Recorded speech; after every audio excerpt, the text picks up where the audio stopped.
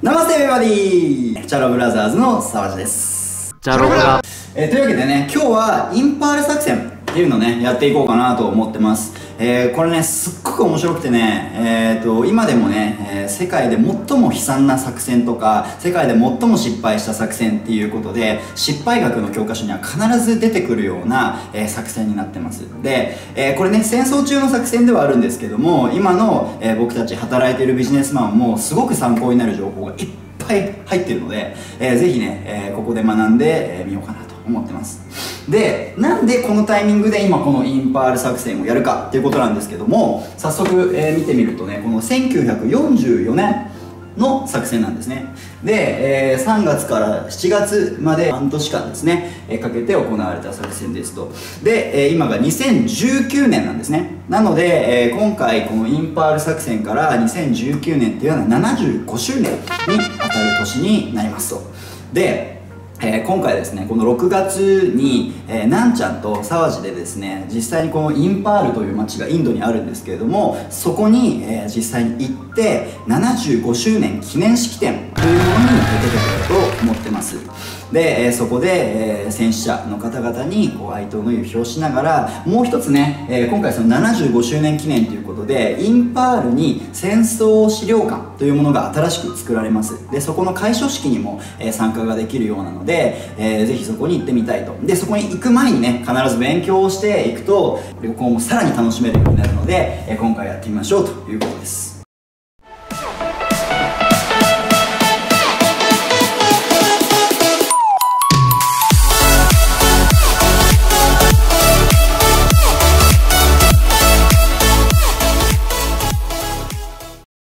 チャロブラ。えーというわけでね早速入っていこうと思うんですけれどもまずインパール作戦ってどういう作戦かこれを一言で言います。一言で言うと日本軍によるイギリス領インドの攻略作戦ということになってます。なんと日本って昔インド攻めてたんですね。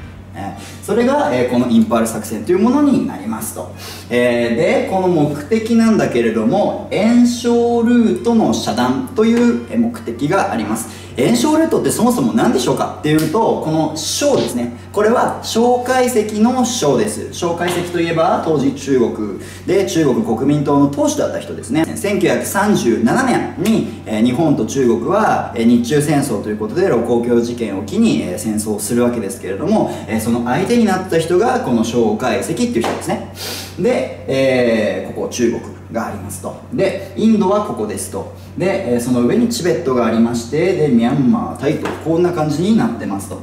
で、えー炎症ルートって何かというと、えー中国ね、まあ、大きい国ではあるんですけれどもなかなか物がないとで食料がないとなので日本とうまく戦えないとえいうことなので結構ですねこういった形でインドとか、えーもっと言うとそのインドの先にあるイギリスとかねそういうところから支援をいっぱいもらってました。で、えーその支援をねこのインドこの,、えーこの場所をですね通して中国のことを支援していたんですね。なので蒋介石を助けるルートっていうことで援蒋ルートって当時は呼ばれたんです。ね、で、えーこの援蒋ルートっていうのはちょうどこのインドの一番東のところに、えー今はですねマニプール州っていう州があるんですけれどもそこの州都がインパールっていうところ。それからもう一つ上にねナガランド州っていう州があるんですけどもそこの州都がコヒマという。この二大拠点をなんとかして、えー攻めようと。で攻めたことによってこの援蒋ルートを遮断して中国を弱体化させて日本は中国に勝とうということを考えてやったのが実はこのインパール作戦なんです、えーというわけでね、えーこここのインパールとコヒマをなんとかして、え攻め切ろうということで始まった、えインパール作戦なんですけれども、えどこから始まったかというとですねこのミャンマーですね。当時はビルマって呼ばれてました。昔はイギリス領だったんですけども、えこの戦争の時にね日本は、え武器で攻め入ってそして占領します。なのでここが全部日本領だったんですね。でその日本領のミャンマーからどうやってインドに攻めていくかということで、えー1944年3月に始まった作戦ですと。でこれね先に結果を言います。これね結果はいこの作戦に9万人が動員されました。でそのうち3万人はミャンマー残ったんです。で、えー、3万人残って残りの6万人が、えー、川を渡る。でさ後で川の話しますね。で川を渡る。でその川を渡ったうちなんと2万6千人が戦死。そして3万人以上が戦争で病気にかかる。で場合によっては、えー、そのまま病死ということもありました。なので6万人実際に、え、動員されてなんと5万6千人以上が、え、死ぬか病気かになったということなのではっきり言って大失敗の作戦。でね、なんでこんなに大失敗したかっていうと、まあいろいろ諸説はあるんですけど、大きく分けるとこの3つですと。いうことなんですね。まず1つ目、こう無謀な作戦だったと。そもそもこの作戦自体が全然いい作戦じゃなかったということなんです。なぜか。なぜかっていうと、まずチンドウィン川っていう川、これがミャンマーとインドのところにこう流れてます。えここね、黒い線で書いてるけど、実際は川なんですね。で、これがなんとね、大河なんです。あのすぐにね渡りきれるような川じゃない。まず渡るのに半日ぐらいかかる。しかも雨が降ると増水してめちゃめちゃ流される。そんな場所なんです。ね、だからまずそこを越えようとする時点でもうかなり無謀であるってことなんです。ね。でもう一つさらにこうアラカン山系っていう山も実はここの、えー境目のところにあります。でアラカン山系っていうのはですねあんまり有名な山々じゃないんですけども、えー、基本的にはね 2000m とか 3000m とかね、えー、日本でいうと日本アルプスぐらい、え、の、え高さがもうボボボボっとこういろんな山があるわけですよ。なので大きな川とそれから高い山があります。と考えるともうねここ越えるだけでねもうヒーヒーなんですよみんな。ねもう疲れちゃう。で疲れた上にここインド領はイギリスがもう思いっきりがっちり支配してるので、えー、疲れた人がそこで、えー、もうヘイヘイヘイっつってねあのやられていくというもう本当にもうそもそもが無謀な作戦なんですね、でもう一つね無謀だった理由があってそれはこの食料と武器不足っていうことなんですけども、まあ、当時ねこの1944年といえば、えー、1945年にね日本って終戦というかまあ敗戦をするんですけれどももうそのかなりえー、直前期ということになりますよね。1942年に、えー、ミッドウェー海戦で、えー、アメリカ軍に惨敗を喫してからもう日本は敗走敗走敗走ということでもうどんどんどんどん負けていきます。そうすると物がなくなっていきます。なので、え、その物をねどう使っていくかということでね、え、インパールにはね全然その物が入っていかなかったんです。なので、えー、食料も足りてない武器も足りてない、えー、ということでね、えー、もう大変な戦いだったわけ。でこれジンギスカン作戦っていうね作戦が一つね、えー、このキーワードになるんだけれどもあまりにもねもう日本から届く食料がなかったもんで当時の大将は何を考えたかっていうとじゃあ分かったと。ミャンマーにいろんな牛とか羊とか家畜がいるじゃないかと。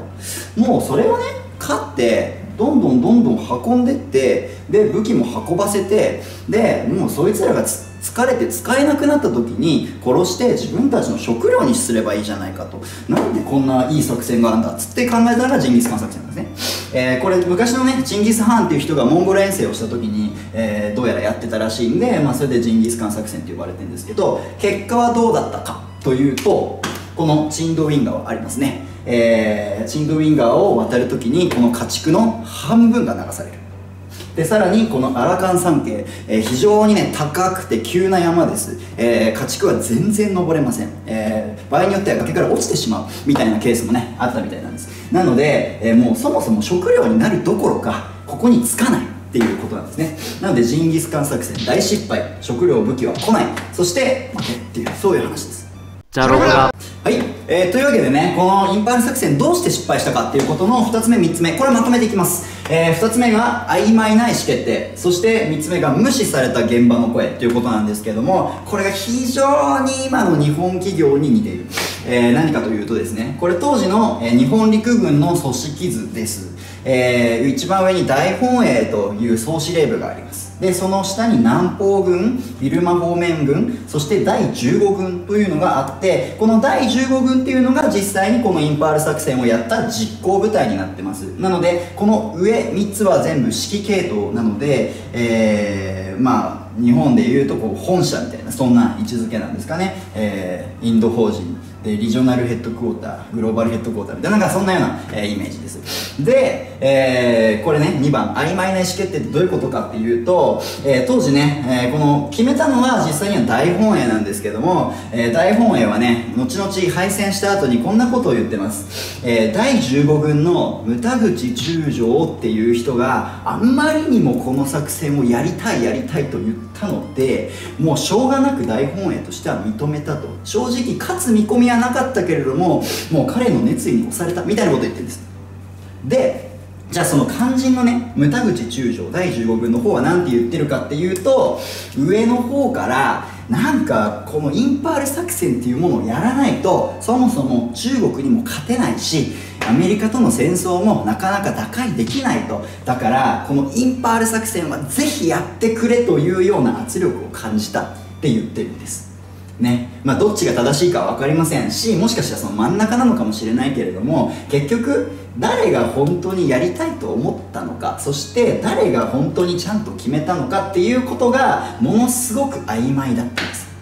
これが丸2でえさらにねこれって本当に悪くてこの無視された現場の声っていうんですけどもこの第15軍のねさらに下に、えーいろんな部隊がいます。でその部隊の中には実はさっき言った食料とか武器の調達を専門にずっとお勉強をしてきたいわゆる兵隊の専門家っていう人がいました。でこの作戦をした時にこの兵隊の専門家はみんな口を揃えてこんな作戦は無理だって言ってたんです。言ってたんですけども、えーさっきのねこう決まってしまったこととかまあいろいろあってですね、えーそれが無視されてで結局作戦が実行された。そしてなんとねこの作戦なんですけど1944年3月に始まって実は最初3週間で終える予定だったんです。3週間でこのコヒマインパールに着いてで、えーコヒマインパールの基地にある相手の食料を取ってそれで生きながらえようとしてたんですけども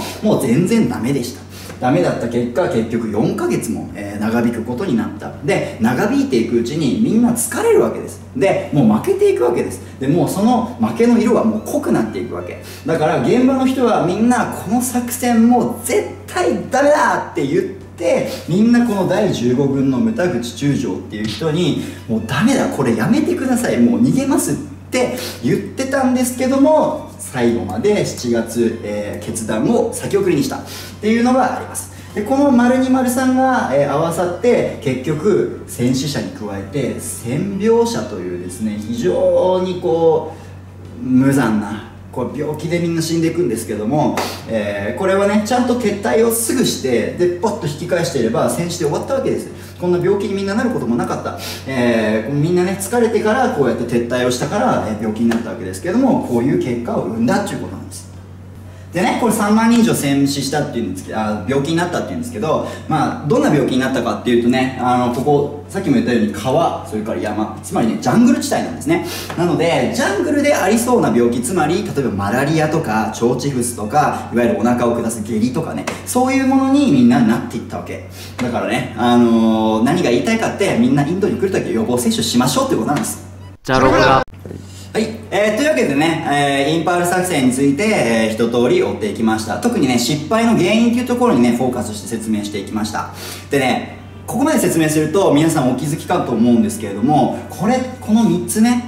実は今のビジネスマンの人にもすごく参考になるんじゃないかと思うんです。なんでかっていうと例えば無謀な作戦それから曖昧な意思決定無視された現場の声。でこれって今の組織の中ではよくある話だと思うんです。例えば日系企業がインドに進出するときにこういうチンドウィンガーとかアラカン三景みたいななんかものすごく難しい条件を見落としてないかとかね。あとちゃんと、え食料武器当時は食料武器だけれども今の経営資源といえば人物金情報ですよね。それをちゃんと送ってんのかとかね、えーそして曖昧な意思決定。これはね本社が決めてちゃんと、えー全部責任を持ってやるっていう会社だったらいいけれどもなんかそうじゃなくてとりあえず、まあ、インド市場まあいいからとりあえず誰か行ってよみたいな感じで曖昧にこうね、えー言ってないかとかね、えその辺は結構